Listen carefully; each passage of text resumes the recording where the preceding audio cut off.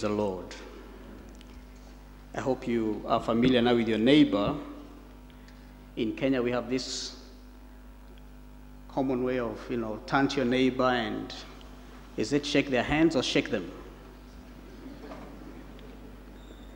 Really, to welcome every last one of us that is here.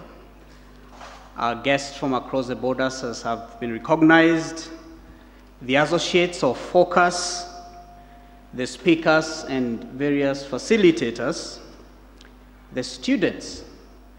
I think we didn't recognize the students. Who are the students that are here this morning? Good. Yeah. The church leaders and government officials that could be here, karibu sana. I really want to welcome you to this Hesabika National Convention. Allow me to also really appreciate the team that has worked tirelessly to put this program together.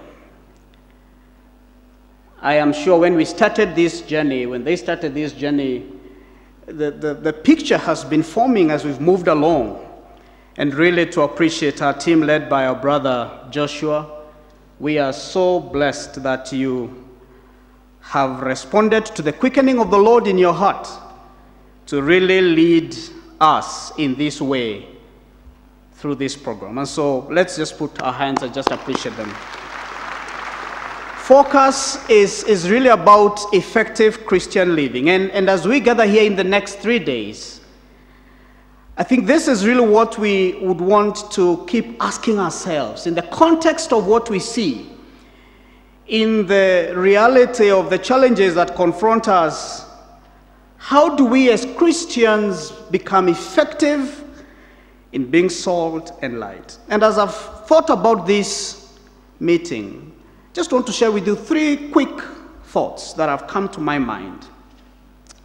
One of them is really as we sit here as graduates, as we, as we sit here as business people, civil servants, people from the academia world, to all of us, we can be said that much has been given to us. Much grace, much favor, much training, much preparation, much equipping. And the scripture does challenge us because it asks us and says that to whom much is given, much is expected. Dear brothers and sisters, our country calls, our villages call, the corporate sector calls, the civil society calls, and the call is to you. Much has been given to you. Some of you were the first to go to university from your villages and from your counties, and some from your families. Much has been given to you.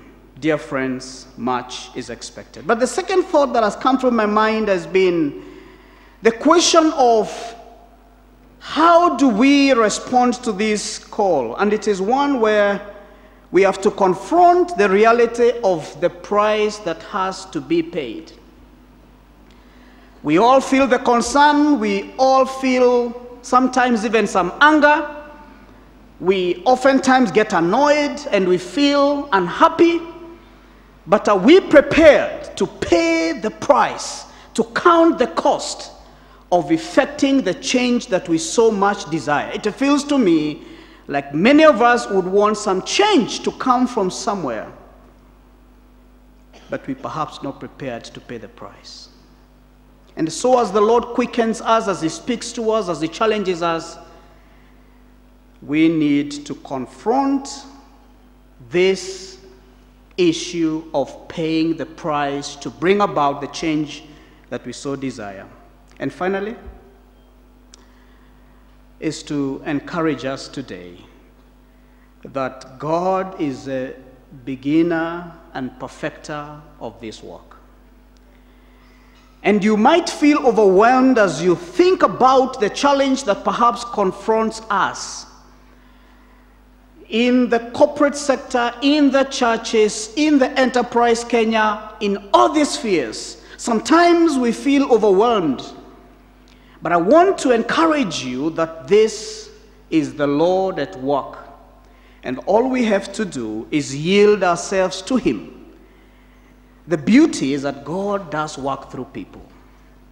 And as we are here over this time, take time to network, to interact, to learn from each other, to build these sort of networks that we so much need for the journey ahead. As I sit down, let me say, let us get Hesabika trending. All of us that are here and on social media, social media now has become a very, very strong voice. I want to ask you, please, over the sessions, let us get Hesabika trending. Let Kenya know that something is happening. Let Kenya know that something is being birthed, something is being formed. Please, would you really, um, you know, use your means to get this voice and this word out there? And so let us take these next few days to allow the Lord to quicken us and to lead us. And on behalf of the leadership in focus, the advisory committee, the National Governing Council, the trustees, the staff, everyone, karibu sana, and God bless you.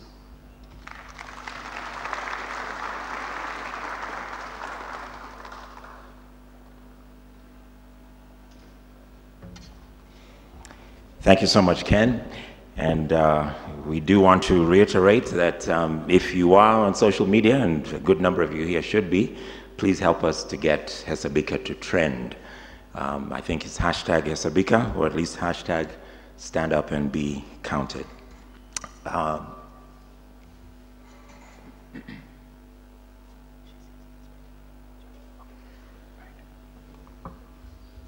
Amen. We're going to find out if we do have um, wireless facilities here. Uh, and as soon as we do, we'll let you know so that you can, uh, you can sign on as well. But uh, allow us to please now welcome to give welcome remarks the chairman of Hesabika, good friend, Dr. Joshua Wathanga, to come and give his welcome remarks as well. Let's welcome Joshua.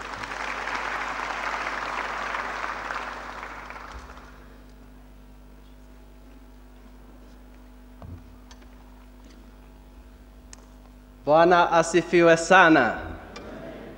Praise be to God. Good to see all of you. You had us scared because at 8 o'clock there were more speakers than the rest of you. so, welcome, welcome. And uh, um, actually, we were going to have um, uh, several speakers to, to each of you in the workshops. Uh, and uh, so, we are happy that you're here so that we can get started. Karibu sana.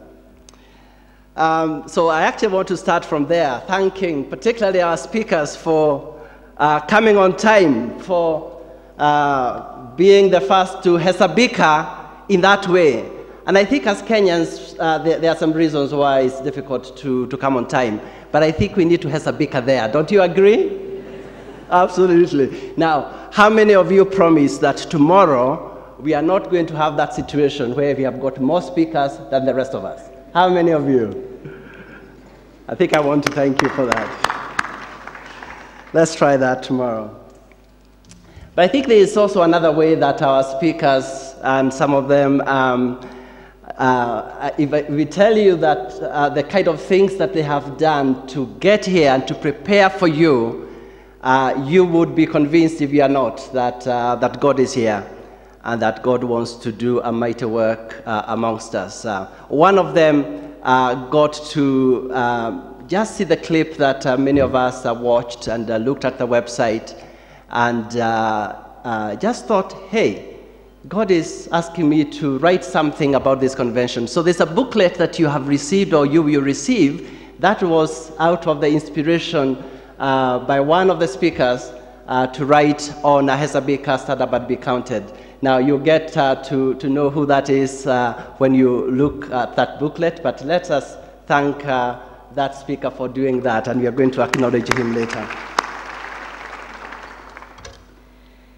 So I had mentioned that I think the first area that we need to have a Hesabika on is uh, keeping time, but uh, there are many areas that we need to do that. Maybe even the way we build our roads, the way we handle our drainage. Uh, you are in the right place because these are the things that we should be talking about. How can we make a difference in each of these areas? Let me share a concern uh, before I say everything else that uh, it's not been an easy convention to mobilize for. You would think that uh, with all um, the publicity, both uh, directly to uh, many focus associates and also in the media, that this would be an easy convention to mobilize for. In fact, the reason why we brought it to Nairobi and made it a day convention is to make it possible and easy for particularly Nairobi people because that's where we've got the majority of associates to be able to come here. And we also tried to look for sponsorship and we are very grateful for uh, many of you who are here representing the organizations that have supported us financially to subsidize uh, so massively uh, to make it possible as much as it is uh, to have uh, as many people as possible. But even with that, we cannot fill this, this hall, apparently. And uh, so, why not? And last night, in um, a three hour traffic jam, uh, a distance that would normally take uh, about uh, 25 minutes or so, we had plenty of time to discuss with uh, one of the focus uh, directors. And we were uh, asking ourselves, why has it been so difficult to mobilize for Hesabika? Now, there are many reasons, and there are changes and um, improvements that uh, and Focus uh, should make and should learn out of uh, this experience. But there was something else that uh, he said, that uh, talking to many associates out there, apparently the message of Hesabika is not an easy one. That the message of Hesabika is too hard. In fact, I know that uh, is a case because one of the meetings that we had before this event was uh, a meeting of uh, uh, bank, uh, bankers, uh, economists, and policymakers. One of the speakers here is Dr. Paul Mills, who is a senior economist with the International Monetary Fund. He is here on a personal capacity. And one of the meetings that he was going to address was for the bankers and the, and the economists. And we, we had a very good meeting. But it was, it was a, it's a difficult meeting because if you're talking about um, a, case against a debt-based uh, growth strategy, uh, Kenya as an economy and our banks and financial institutions are so uh, heavily leveraged that the whole question of debt becomes a very sensitive one, even, even politically. But apparently, even for associates, the message of Hesabika is not an easy one. And one of the things I, I, I, I heard from, from this person is uh, a response that apparently it is not realistic to expect that we, that we can be in the real world without a bribe here and a compromise there. So it means that even for us, Hesabika is a difficult message. And our prayer is that uh, those of us who are here are going to hear God afresh. And that God would give us um, a new perspective about what it is, what it means to be salt and light in His world. And maybe God wanted to teach us another lesson. Like, like Gideon uh, in chapter 7, verse 2. You have too many men. I cannot deliver Midian into their hands, or Israel would boast against me. My own strength has saved me. And maybe God is saying that He doesn't need those numbers. And th- that the people that He really wants to speak to are the people who are here. And wouldn't it be wonderful? A wonderful thought that years on, maybe five years on, maybe 10 years on, maybe 15 years on, we can look back and say, there is something God stirred in our hearts at uh, the Hesabika National Convention in 2016. And God has used that to begin or to continue a work of transformation that has changed Kenya and indeed the nations. Is that your prayer this morning? Bwana sana. A friend of uh, Focus and indeed uh, a friend of many of you, particularly those of uh, uh, my age and, uh, and older, uh, Uncle John Stott, who went to be with the Lord a number of years ago. He kept, um, and um, it's from scripture, but he, he kept reminding us of, um, um, in applying uh, what Jesus says, that you are the salt and light in the society. That when you enter a dark room, and of course it is dark, you don't blame the darkness. You don't ask, why is this place dark? Because you see, that is what happens when there is no light in a room. And when you taste tasteless food, you don't blame the food. That's what happens when there's no salt in the food. So when you see darkness in the society and you see moral decay in the society, you don't blame the society. You don't blame the politicians, even Kenya politicians. You don't blame the lawyers and the policemen.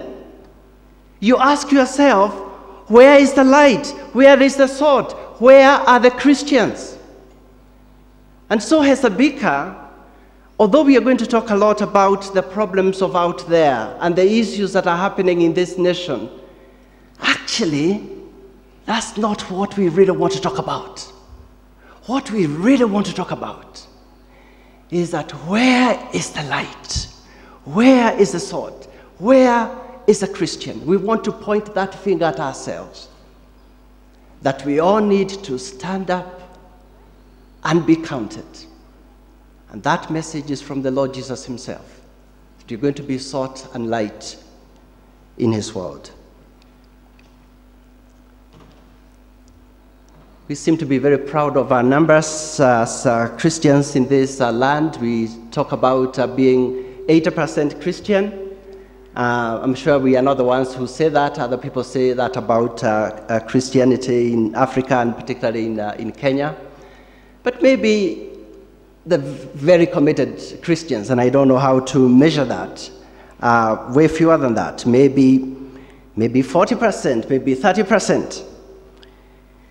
But the question is how many people does it take to change the direction of a society? Sociologists argue about that. They talk about uh, 3%, others 5%.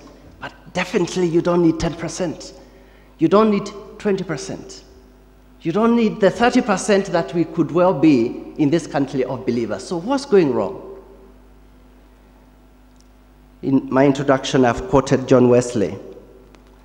And uh, he's quoted to have said, Give me 100 preachers who fear nothing but sin and desire nothing but God. And I care not whether they be clergymen or laymen. They alone will shake the gates of hell and set up the kingdom of heaven upon earth. 100 to change the entire world. We are talking about Kenya, much smaller than the globe. That with 100 men and women, this country can be changed for God and for good. And the question that we need to answer, each one of us, by the end of this convention is that are we going to be part of that 100 or 200 that will be required to change the direction of this country? Bwana asifiwe.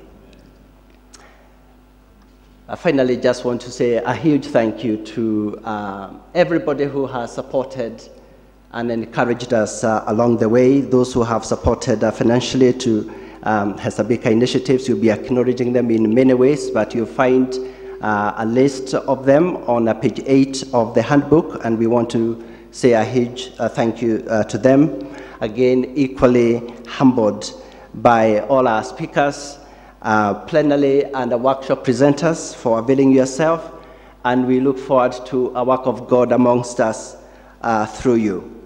And, um, um, and to all of you who have come, and we pray um, that uh, all of us, we hear God afresh, so that uh, we can be used as agents of uh, God's transformation for, for this land.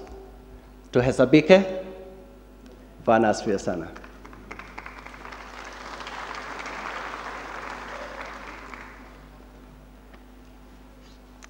Thank you so much, uh, Joshua. That was succinct, to the point, and encouraging all of us to make sure that at the end of the day, this really is about how we respond individually.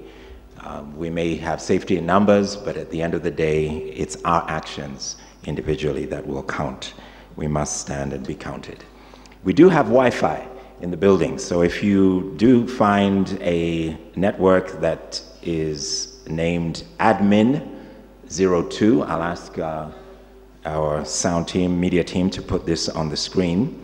Admin 02, the password is FA, all in lowercase, F A C E D E A F 25. If you could post that on the screen uh, in the course of the day. That's F A C E D E A F 25 or Face Def 25 Admin 02. We're now going to watch a video on the state of the nation. And after this short documentary, a group of students are going to share their response, led by our brother Ezekiel, their response to the state of our nation.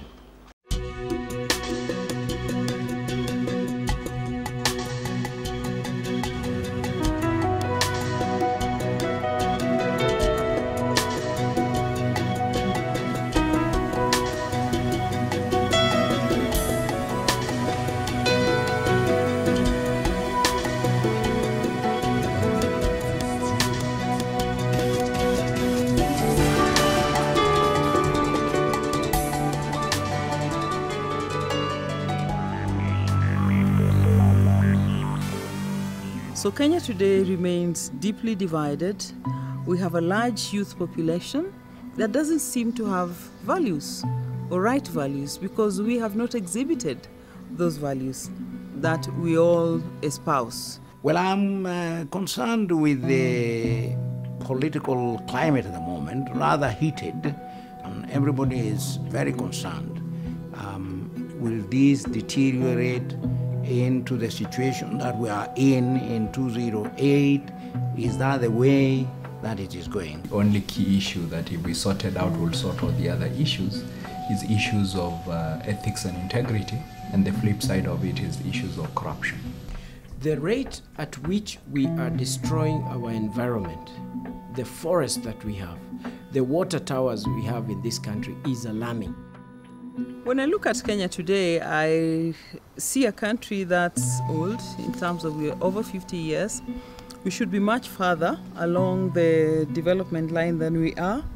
We should have made some bridges in terms of reducing the poverty levels, dealing with societal vices like corruption and division along ethnic lines, and the capacity for us to engage without resorting to violence and um, challenges on really how the whole societal system works.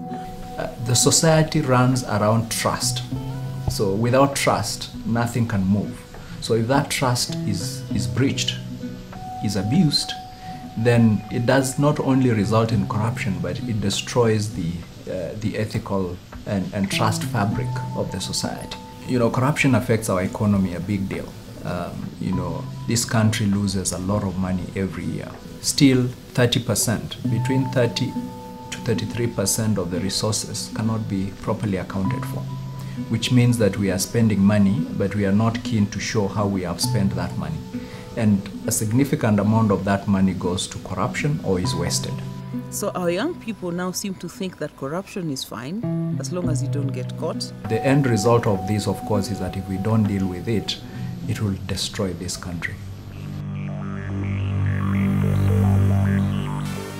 And of course, a major concern is related to the elections next year. It's partly this. Will this election be peaceful? Will it be credible? Will it be free? Yeah, we are doing over 67% unemployment rate. The last figures do show that. We are also looking at global figures where we realize that 1% of fresh water is what is available for drinking today. The same is also coming back to Kenya and so many other issues because of pollution and so many other things that are affecting us. So, only, you can imagine, only 1% of fresh water is what is readily available. The moment you live here, water is life. You must be able to save it. In the year 2009, when we did our last census, it showed that we have 8.7 million households in this country. 5.6 million households out of the 8.7 were using firewood for their household energy daily basis. Previously, we have been destroying 5.6 million trees every single day. Today it is more because the number of people has increased, the number of households has increased in our country. And therefore, if this is not alarming that we are destroying over 5.6 million trees, three year old trees, every single day, I don't know if the church cannot wake up, who will wake up? And the key uh, issue of concern is that the Christian, who is supposed to be the salt and light, seems to have been sucked into this um, recurring cycle of issues and challenges and is not making a difference. So there's a new normal, even for the Christian, to just be part of the world. If you are really concerned, don't just talk, but see what action you can undertake. First, it is time for us to stand up individually and be counted. I believe that we must all wake up and stand to be counted.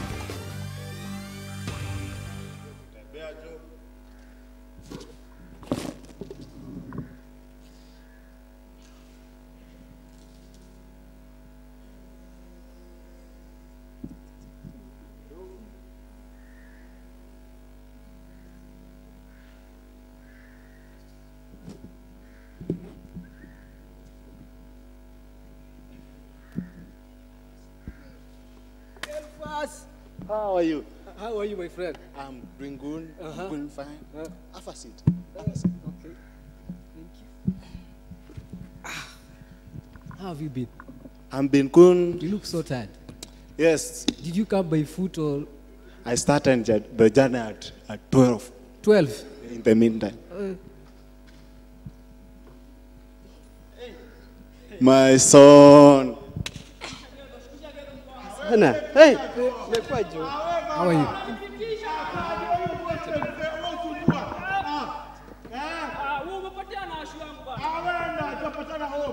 nimeokoka. Hao watu wa matatu hapa wameniweka kiturai na fako risambu. Hey, mzee mzee mzee Stivo. Uko salama? Eh, naona tu na haso. Ah, kuhaso. Eh. Jamazio story. Putu putu putu putu putu putu putu putu putu putu putu putu putu putu putu a chopper? Sasa chopa. Uso. Hiyo ni chopa. Uso. Uso. My brother, Jodo. why, why are you walking like that? The wallet. Hey, What do you mean? welcome.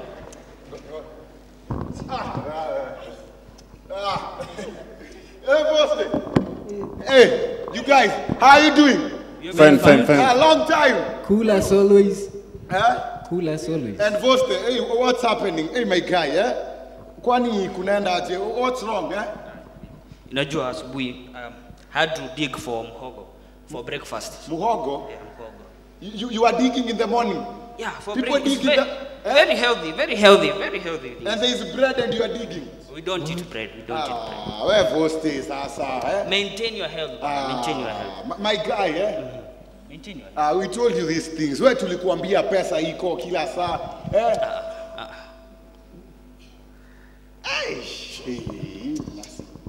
Eish, Masi. Hi. Eish, you remember how in MA, eh, akikuwa MA ile siku. Ah, yes. Eh, ile siku ukikuwa kijana when you are still very young and you are not digging in the morning, you are reading. Eh? Oh, okay. Play that story down. But they must. down. You have been read today. Why? Hey, you wouldn't want to imagine what I went through when I was coming here. Eh, Tell us, tell us. tell us. These policemen are just trouble. They stopped me for no mistake at all. They, they just told me to stop. Then they tell me that for me to just continue with my journey, I need to pay a bribe. Yes, you pay them. Ati niwape kitu kidogo mimi. hata kuwachopa huko juu anatakanga kitu kidogo and we give them we give them bribes everywhere Give No, them. no, no, this can't happen. I mean, there's no mistake I have made. I wasn't over speeding. Nothing was wrong. Why, why, why, why would I pay a bribe?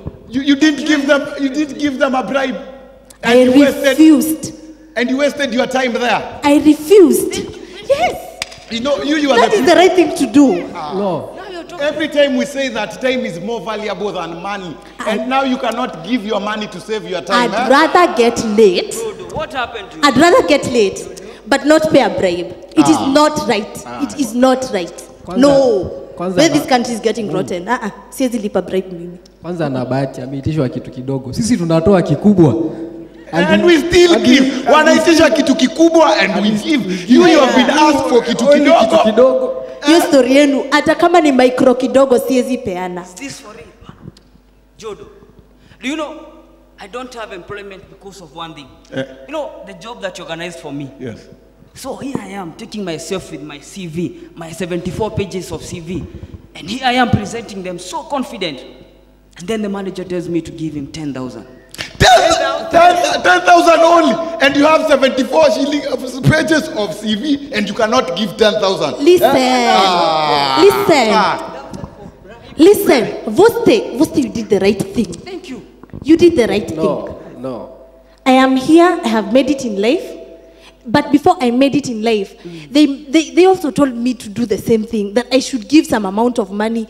And then the boss is also telling me to see him later. And, and you did not give them I did not give them. And how, how, how long? The did you- Lord is faithful. And he how- saw me through. I tarmacked for four years, fine. But his reward is great. I came here driving, didn't I? The Lord could have, uh, you know, the Lord could have answered your prayer earlier than the four years if you just gave the bride. No, no, no. I disagree. I really, really disagree. Hey, Apana. Voste, you did the right thing. Thank you. Thank you. You did the right thing. And uh, let me tell you one thing. He's going to reward you greatly. By the time you're getting your job, we will all be surprised. Unalimia mihogo asubuhi. No more mhogo. Uh-uh, no more. You see, if, even God helps those who help themselves. The- which verse is that? God helps those who help themselves. Nyamsomangi Bible. I, I, I, I have paraphrased it. I, I will Which give you the verse. Which Bible do you read? The, the, the Bible that I read. But in Jodo version. Ah, Ah, there- man. there is that verse. God helps those who help themselves. And there is a Swahili saying which hmm. says akili ni nywele. Eh. Kila mtu ana zake. Umeona mimi sijanyoa, ndio maana mimi si mwendo wazimu. So that's why I took the shortcut. Mm -hmm. It was just simple. Just gave something small. And you see, you know these things. It happens. There, my business. Two years in time, I'm driving my Range Rover. Sijaparara. Yeah. I'm looking cool, as always. You, you, go- God, God helps those who yeah, help, help themselves. Wewe- wewe- wewe- wewe una- unaangushwangwa na gari kila siku you, eh, and then you, you can't even give 10,000 No, no, no. You see, you see, you see, myself, eh? It was not me who came with the matatu. No, that was not me. Who, who was matatu, that? The driver, my, my, my, the, the person who drives my car, uh, watu wa mtaa, they call him uh, Dere.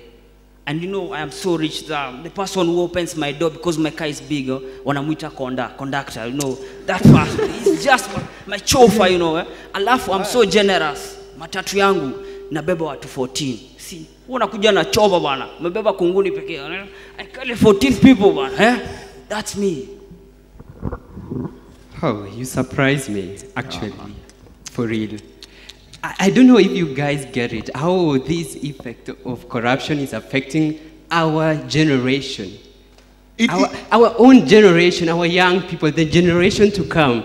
Talk of Likoni stuff. And you guys, it was all in the news. It was just a simple mistake which happened back door. And those kids have the lead. And this is endangering their lives. Okay, Judo, you have children, don't you? Of course, yes, you do. 17 of them. Okay, the number doesn't matter anyway because I know who he is. But the point is, uh, these children, we are going to pass them through through the back door. They are going to do medicine, any other course, science stuff, and you know what will happen? They will commit the mistakes because they are not qualified. You will not only endanger them, but also your own family, the people you care the most. I, I, I don't know. Corruption is affecting us everywhere. Everywhere. People are dying because of this.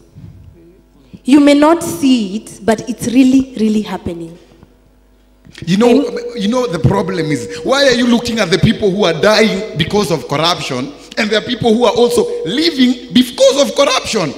Eh? Listen, you, listen, you, you, guys. you, you, guys are so one-sided. eh? Corruption is a two-headed coin, eh, not a two-headed. eh? It- It's a coin. It has the good side and the bad side. Eh? Those who are dying because of I don't know if people are dying because of corruption, but there are those who are living because of corruption. So let me tell you, Mercy, yeah?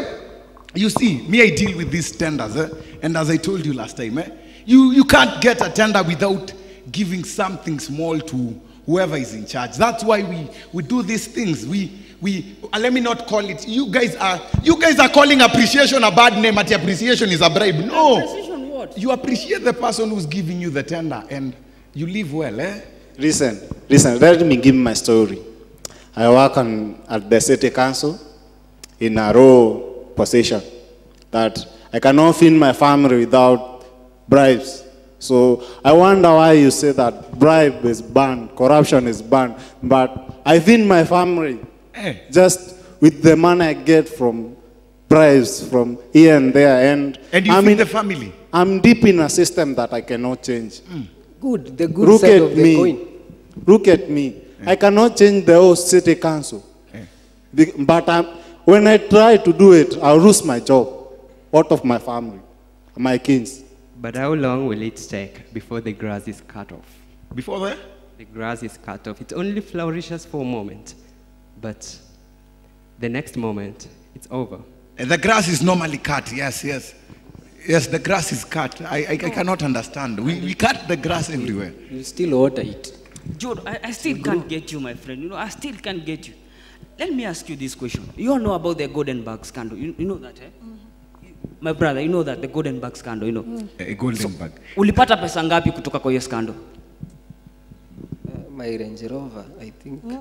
So you are one of them. So Ah, uh, no, this no, will I be mean- taking you to court No, I because mean you no. are one of them. How, how much did you get? Personally, I got nothing. But look at what I'm paying for. Me, I do not support the golden bag. What I support is you give mkubwa something small, you get the job. Why are you bringing Goldenberg to kitu kidogo? It started from a step that that That that small that compromise, that first compromise, led to all those compromises. So it's a step that you have to take from a personal level, from a personal individual level. You have to yourself decide from within. So, Voste, you, what I, why are you saying corruption is bad? Eh? Why am I saying corruption is bad? Eh. My son, I think this. Just tell him because I think I, I can't do this anymore. Corruption is bad because it is. Because it is. Period. Ah, It is wrong, period. How many people have had to suffer? Pieces of land have been grabbed everywhere. I mean, when, when, when, when people are grabbing pieces of land, others suffer. They're being squatters because of that. Why corruption? Hii kitu kidogo imemaliza watu wangapi? How many people have come to an end because of this kitu kidogo? It is wrong. And you being in those big offices, in your municipal hall, at your job, at your place of tenders, Jodo, at your business, you are the ones to make the change. I choose to be counted among those who will say no to corruption. I already am saying no. Nimekataa kupatiana hongo nikikuja hapa you have to be that light you have to shine and say no to this whole thing because it's really bringing us to an untimely end Definitely. This world, the problem of this world is not the absence of good people, but the presence of good people who are not good for each other. People who are bold enough to be coward, to act in their own cowardice and stay in silence. When they can spot the bad things happening in the society and they choose to keep quiet. For tell me, them tell them go ahead for me, I will stand for the truth. I choose to be counted. do you choose to be Eh? Have you chosen to be counted? Ati? do you choose to be counted You, you know guys, eh, hii hii kitu eh, tu- tumepatana tu hapa leo eh, niombeni tu itakuwa sawa, twende tu tukule pale ka kitu, lakini ah, hii story tutaongea. Wewe Voste, hata sitakupea lift kwa chopa sasa wewe. Ah, wewe tembea tembea tu, twende tukule na, na wewe pia ah, lakini hiyo story yenu I'll try, I'll try. Amen.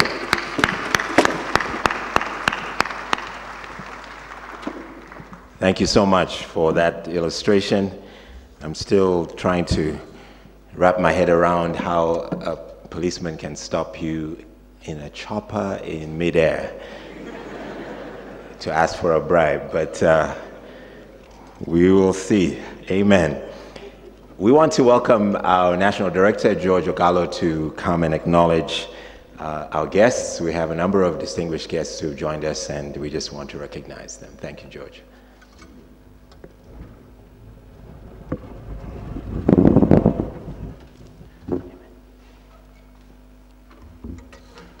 Thank you very much. In a Hesabika convention, it's very challenging to categorize the guests. In fact, even if only the speakers came for Hesabika, there would be guests and delegates. Because the matter before us in Hesabika has all of us as guests. And so allow me to indulge and acknowledge a, category of guests. And I want to begin with students being very special guests. Because the idea with Hesabika was to have uh, associates to come together in a conversation. But from what students have presented here, Hesabika has to begin much earlier. So let me take this liberty to ask students who are in our presence, please don't just lift your hands, please stand up so that we can count you. All the students in our midst. Just keep standing, keep standing, keep standing. Thank you very much. These are not just future leaders, they are present leaders. You may be seated. Allow me to uh, also appreciate uh, the workshop facilitators. You are here as a workshop facilitator. Please rise up on your feet so that we can acknowledge you. All those have been invited as workshop facilitators.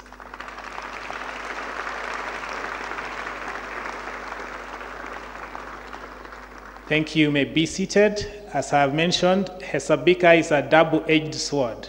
You give and you receive. And thank you very much for choosing to be, uh, be with us today uh, and be examples or other models of Hesabika. Allow me to acknowledge the presence of the Focus um, leadership. If you are in the advisory committee, you are in the a, member of the trustees board and the National Governing Council, please rise on your feet uh, so that we may appreciate you as well.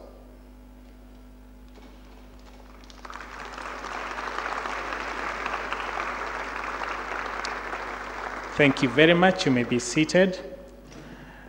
Uh, allow me to uh, appreciate those who are here and you're here on your representing a- an organization. Perhaps some of them would be A number of them would be having exhibitions outside, but if you have come here representing an organization, uh, particularly, please rise up so that we can appreciate you.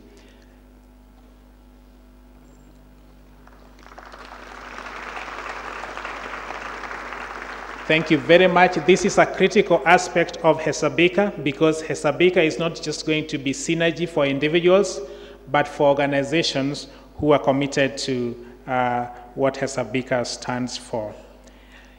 It might be difficult to, to determine this, but if you are here feeling that you are here for, for the sake of your county, uh, Kenya is now in a devolved system and county is significant even for Hesabika in the long run.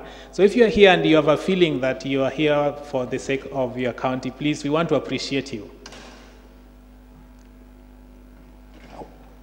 Thank you. Is thank you, my sister.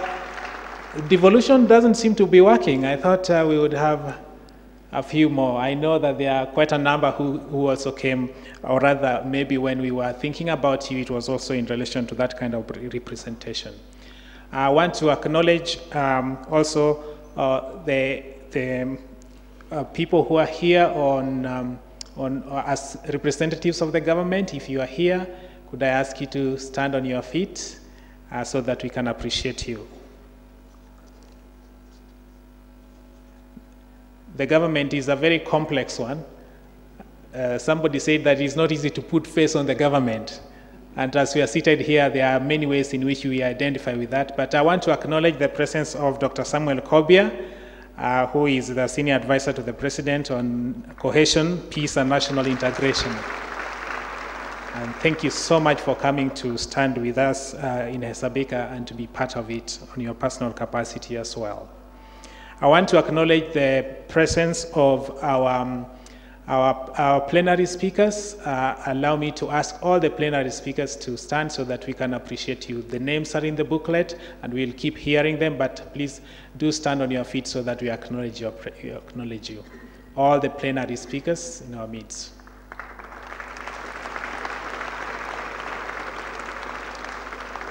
Thank you very much. And um, I would like to welcome special uh, guests who are either speakers in the plenary or speakers in um, the workshops. If you are a speaker and you, have, you are not a Kenyan, you have joined us from outside the country, even if you have stood, again, stood, uh, stood before, could you please rise again because you are very special guests in this particular forum. International uh, speakers.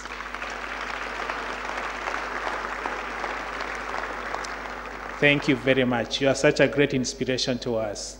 Uh, I should not forget that if you are an international delegate and you are not a speaker, you are a delegate who has joined Hesabika and you are not a, speaker, could you rise on your feet? I think Zimbabwe should be represented here, Uganda. Uh, could, we, could, we, could we have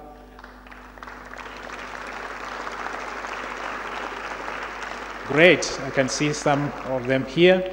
Thank you very much. Uh, you are very welcome. Uh, may the Lord bless us as we continue uh, to uh, reflect in this forum. And so there is rich symbolism here in the picture of the wilderness in the number 40. Not only is a new creation emerging, but perhaps a new Israel is to be formed. And it is there in the wilderness, over those 40 days, that Jesus is then tempted by the devil. Notice how the Spirit drives Jesus not into the place of security and comfort, which is what we often think the Holy Spirit is going to give us when He comes into our lives, but rather into the wilderness, into the face of spiritual evil there to be tested. Because unless our faith is tested, we don't really know whether it is genuine or not. And Jesus, as one who identifies himself with Israel, has to be also tested. If Israel failed in the wilderness, failed to live up to God's calling, how is he going to deliver Israel if he cannot withstand the same testing? Now, there are a couple of things about these testings or temptations that we need to keep in mind. The first is that they are not just testings that Jesus experienced at the beginning of his public ministry, as if that was the only time he experienced temptations and then the rest of his ministry was temptation free. No, these bring together the three commonest temptations that Jesus faced right throughout his ministry up until the crucifixion. And we'll see this as we go along. The second thing to note is that these are temptations that take place in the imagination. We are not to think of Jesus being physically carried by the devil to the top of a temple one moment, and the next moment being found on the top of the highest mountain in Palestine. No, that is the world of fairy tales, of popular mythology. These are temptations that take place in his imagination because it is in our imagination that we experience temptation, don't we? And the battle against evil begins in our imagination. How we imagine our life, how we imagine success, how we imagine the world around us and our future, that is where we experience temptation. So let's look at these three temptations. Firstly, Jesus is hungry, and the devil says to him, Well, if you're the Son of God, and God has declared publicly at the River Jordan that you are his son, well, if you are his son, then why don't you satisfy your hunger? Use the powers that God has given you to turn these stones into bread. Why do you need to be hungry as a son of God? Notice that the devil is not questioning his sonship, but rather he's tempting Jesus to exploit his status as God's son to meet his own needs. Perhaps we should translate, since you're the son of God, why not turn these stones into bread? Now, that's a very familiar temptation that we also face, isn't it? To think of all the powers, the abilities, the capacities that God has given us as being things that are given to satisfy ourselves, to meet our particular needs, to advance ourselves in society. Isn't that how most students are taught by their families and by the educational system?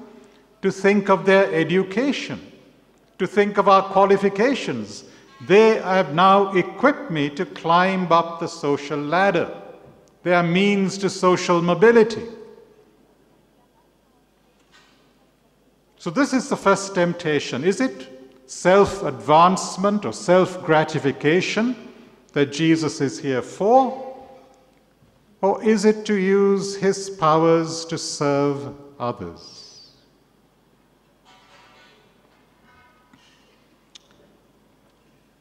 the well known German pastor and theologian Dietrich Bonhoeffer, who was martyred by the Nazis in 1945.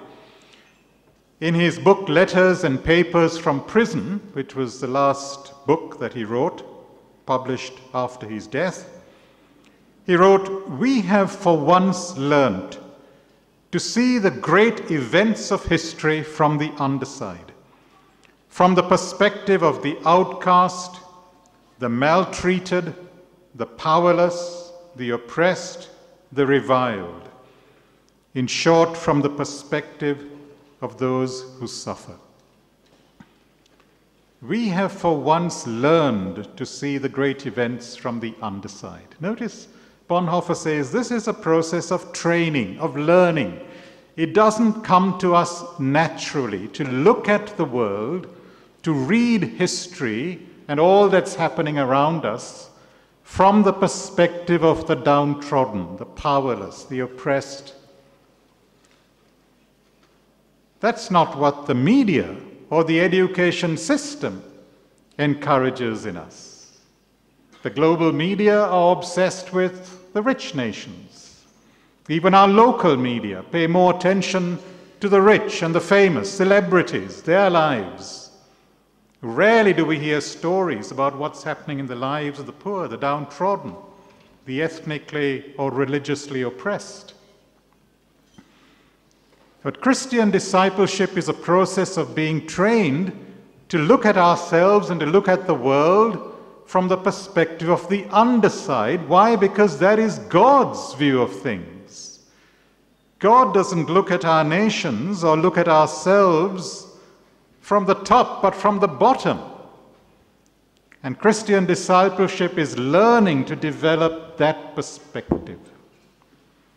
And like I said, to see even the gifts that God has given us as gifts that we are stewards of for the sake of those who are at the bottom, who don't have the privilege of the kind of education that you and I have had.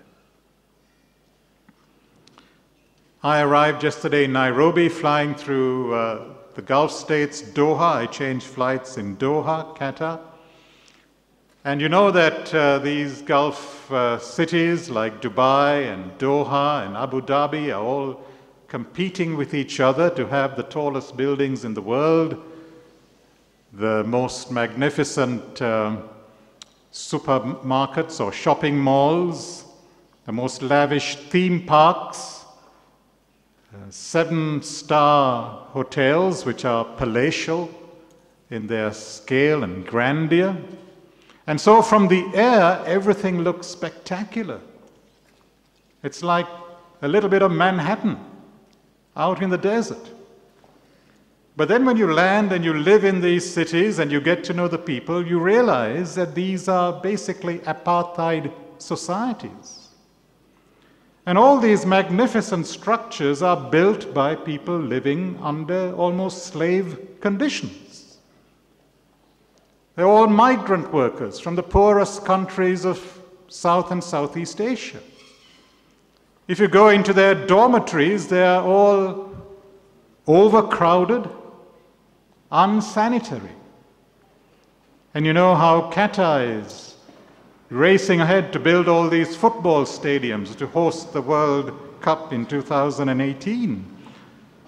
And there are literally thousands of these workers who have already perished putting up these football stadia because safety standards are violated. For a politician to be popular in Palestine, one had to hate the Romans. And Jesus refused to do this. In fact, he exalts a Roman soldier, a centurion, as a model of the kind of faith that God was looking for. What a countercultural, what an offensive thing to do in the face of Jewish nationalism. And then he goes and he parties with the tax collectors who are collecting taxes or customs duties for the Romans. He becomes friends of prostitutes and lepers, outsiders, people whom religious people would never associate with. Do you find pastors, FOCUS staff workers having friends amongst prostitutes and drug addicts in Nairobi? The people revere the temple, and Jesus pronounces God's judgment on the temple. The people hate the Samaritans, and Jesus mixes with them, and he holds up one as an example of neighborly love in perhaps his most famous parable. So, if the first temptation was about self advancement or service to others, the second is about showmanship or integrity. And again, that's a very relevant choice today, isn't it? Because evangelical Christian circles, especially in your part of the world and my part of the world, is riddled with showmanship. A lot of it coming from the American Bible Belt, but also our homegrown tele-evangelists constantly promoting themselves I was reading recently about a Russian philosopher, a woman called Tatiana Goricheva. During the years of Soviet communism, she was an outspoken critic of the Soviet regime. She was an atheist, but she also practiced yoga. And in her yoga class, she was given a book which contained various mantras or chants or sayings that people chant internally to focus their attention while practicing yoga. And she found that in this yoga book, one of the mantras or chants was what Christians call the Lord's Prayer. And she thought she would use this, even though she was an atheist. And as she automatically and without thinking kept chanting this prayer every morning in her yoga class, somehow it got under her skin. It changed her from within. She began to think about the words she was saying, and it changed her outlook completely. And she became a Christian. Now, she was given a choice by the Soviet regime either imprisonment or to go into exile. And she went into exile in the United States. And there she encountered for the first time tele-evangelism. And she writes this in her book. She says, I saw my first religious broadcast on television, and I'm so grateful to God that we have atheism and not religious education in the Soviet Union. Because what this man said on the screen was more likely to drive more people out of the church than all the clumsy chatter of our paid atheists. Dressed up in a posh way, this smug, slick preacher had to talk of love. But he was a boringly bad actor with mechanical and studied gestures. He was faceless. For the first time, I understood how dangerous it is to talk about God. Each word must be a sacrifice, filled with authenticity. Otherwise, it's better to keep silent. Perhaps we need more silence in Kenya when it comes to talking about God. That's what Goricheva would say. Let's get back to our text. Jesus is now in his imagination on a high mountain. And the devil is saying, Well, if you will just bow down and worship me, all these kingdoms that you see before you will be yours. The devil has no authority to make this offer. He possesses nothing. He has no sovereignty over the nations unless the nations give it to him. It's uh, ironic because in Luke's gospel, in the opening chapters, we are told the kingdoms of the world come under the Roman Caesar. So is Matthew and Luke suggesting that actually behind the Roman Empire there stands the activity of Satan? Anyway, what is interesting is that to possess the kingdoms of the world is precisely what Jesus has been anointed and commissioned by God for. The voice at his baptism has declared, You are my son. Psalm 2, verse 7. And the very next verse in Psalm 2, verse 8 says, Ask of me, and I will make the nations of the world your heritage. The ends of the earth will be your possession. So the goal is good that Jesus should have authority over the nations, that the nations should bow the knee and worship him alone. That is God's plan, that is God's purpose for Jesus and God's purpose for the world. But the question here is about whether the methods, the means that he is to use, also come from God. So, this is the third temptation whether the end justifies the means. You can have good ends, good goals, but what about the means we use to get there?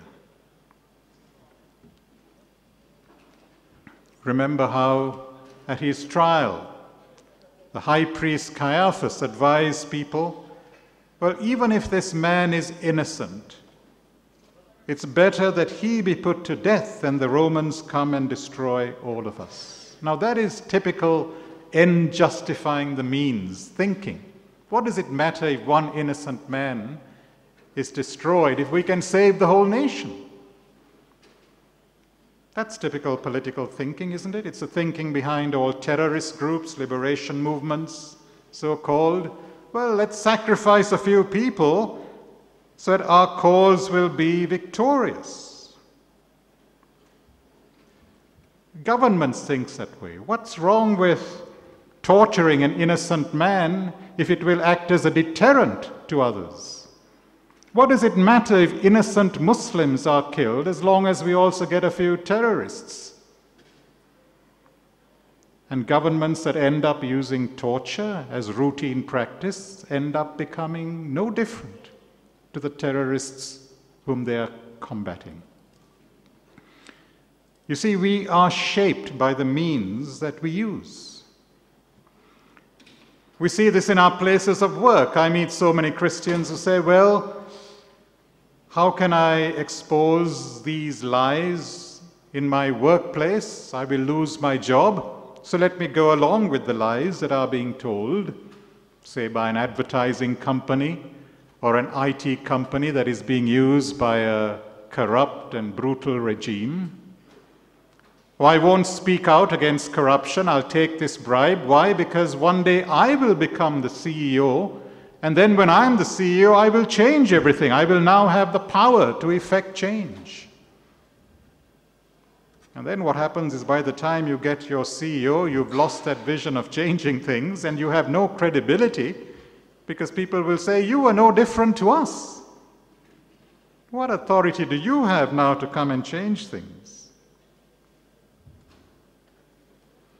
We see this in economic life, don't you? I mean, the whole obsession with growing GNP or GDP as if that was the only index to a nation's uh, wealth and health. We never ask questions about the means that we use to grow our economies.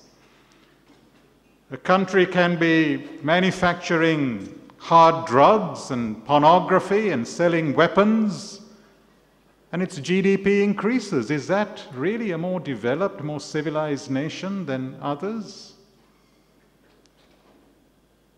What about if we are exploiting non renewable mineral resources, energy resources? So, although our economy is growing, we are leaving behind a, a deplenished world for our children and grandchildren.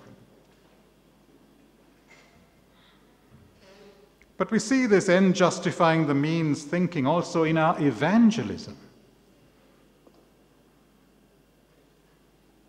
There was a Singaporean church pastor who was in the news a couple of years ago. He was arrested by the police in Singapore because he used church funds in this mega church to finance his wife's singing career in, in California.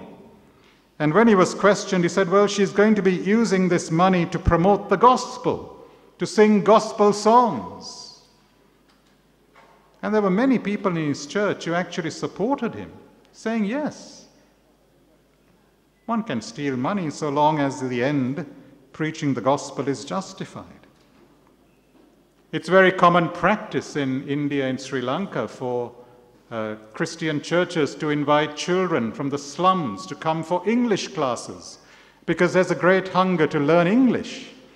And so Muslim and Hindu parents send their children to these churches to learn English, and soon they find that they're being taught the Bible as the English textbook, and they're horrified. And the churches say, Well, what's wrong? We are converting these children, they're coming to know the Lord. And I ask them, Well, would you like it if a if a mosque were to offer classes in Arabic, and then you find that people are being taught the Quran and encouraged to become Muslims.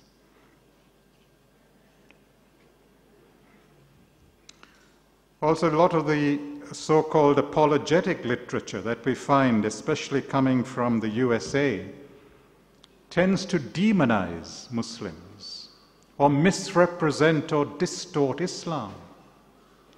And I find a lot of Christian students using such literature Can we actually deceive people by telling lies or half truths about other faiths or about atheists and what atheists believe in the name of evangelism when we claim to be proclaiming truth? And it's little wonder when people who are brought up on this kind of literature, when they grow up and they meet really thoughtful, thinking, compassionate Muslims and Hindus, they think, well, the church doesn't understand, and they give up their faith altogether. And that is why, if you want to learn about Islam, don't listen to a Christian talking about Islam. Find the best, the most articulate, and the most devout Muslim in your neighborhood and ask him to come and teach your church or your Christian union all about Islam. That is showing integrity because that is the way we would like them to treat us. Because we know that when the typical Muslim preacher teaches his class in the mosque about Christianity, he will distort what Christians believe. Well, if we believe that about them, aren't they also entitled, aren't they also right in thinking the same about us? And so much that is done in the name of evangelism actually is a denial of the very values of the gospel itself. Let me conclude. How does Jesus resist temptation? He hears a voice saying, You are my son, my beloved, in you is my delight. And then a few days later, he hears another voice saying, Well, if you're the son, turn these stones into bread, leap from the temple, do something spectacular, impress the crowds, bow down and worship me, and you will have the kingdoms of the world. How does Jesus discern which is the voice of God and which is the voice of the evil one? Remember, I told you that the devil quoted scripture. But he quoted scripture out of context. He used what many Christians today do, and that is proof texting. Taking a verse out of its context in scripture, blowing it up, and building a whole theology around it. That is how prosperity gospels come into being. Now, if you go home and actually check the three times Jesus answers the devil, or answers himself, if you like, also quoting scripture. All those references that Jesus is using come from one section in the book of Deuteronomy, between Deuteronomy chapter 6 and Deuteronomy chapter 8. And those chapters are Moses' reminder to the people of their mission, of their vocation. He says, God has called you and formed you into a people not because you are better than others but because he wants you to be different to the nations.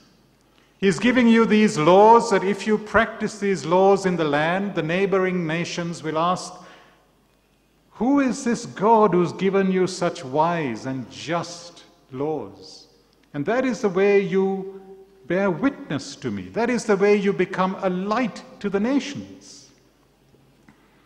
Now we know that the tragedy of ancient Israel was that rather than being different to the nations and so being a light to them, they wanted to be just like the other nations. They adopted their gods and their laws and their political systems. And so they lost their mission, their vocation. They ceased to be the covenant people of God. So, isn't it striking that Jesus is apparently meditating at the outset of his public ministry on the calling of Israel to be God's son. And Jesus is seeing himself in that biblical story, in that narrative, as the new Israel or the true Israel, who will model for his people what it is to be God's son how to live as God's son and to take Israel's destiny upon himself and so fulfill his calling. And so Jesus was willing to be counter national, counter cultural, to embody a different understanding of kingship and of sonship. He was a nonconformist. He was a disturber of the peace, as you read through his public ministry. He was not a nice guy seeking popularity from the crowds.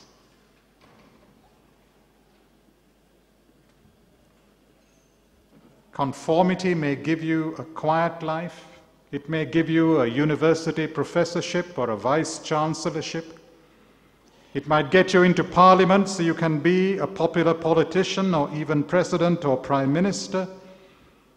But remember that all change in history, all progress has come from nonconformists. If there had been no troublemakers, no dissenters, no people willing to go against the herd, then all of us would still be living in caves. Let's bow our heads for a word of prayer.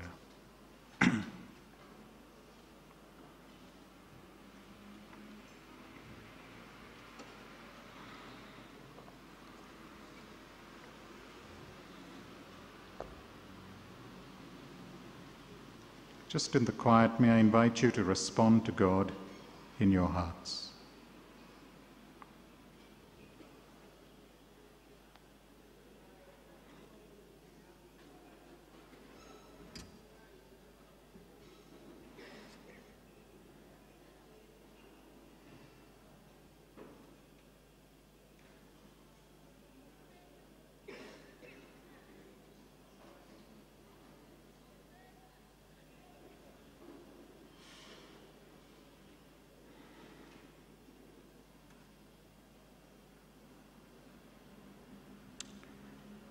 Lord, in your mercy, hear our prayer.